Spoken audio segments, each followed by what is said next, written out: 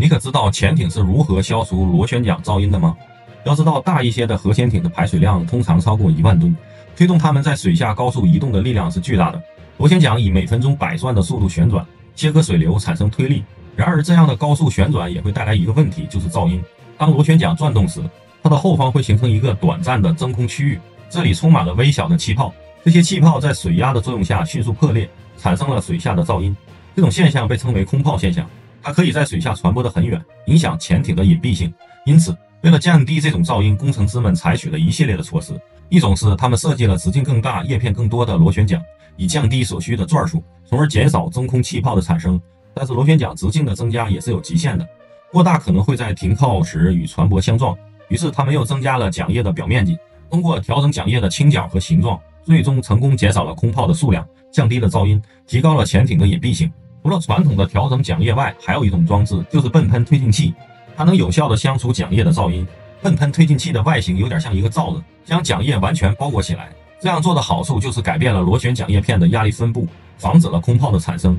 此外，泵喷推进器还刷上了一层吸音涂料，进一步降低了噪音。在螺旋桨的后方还有一个不旋转的锭子，它能吸收螺旋桨叶尾流带来的能量。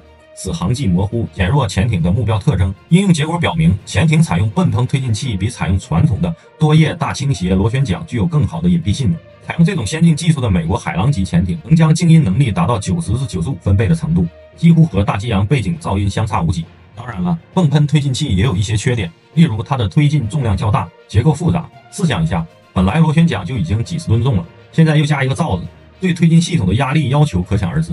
因此很难部署在常规动力的潜艇上。不过，对于美国核动力的大型潜艇来说，这都不是问题。其实，除了螺旋桨噪音外，还有很多其他降噪的方式，比如安装很多减震和降噪的设备。美国海狼级潜艇也是这方面的佼佼者，它的很多关键部位都采用了降噪设计，在机械设备的连接处和容易产生物理摩擦及噪音的地方安装了很多减震设备。此外，还安装了一些降噪装置，通过各种手段减少噪音的产生，降低了噪音的分贝。不过，总之，无论是采用哪种降噪方式，其本质都是基于坚实的工业基础之上。在如今核动力潜艇的大趋势下，无疑让潜艇领域的科技发展拥有了更多的可能性。那么，视频的最后，您觉得中国的核潜艇处于什么水平呢？欢迎在留言区讨论。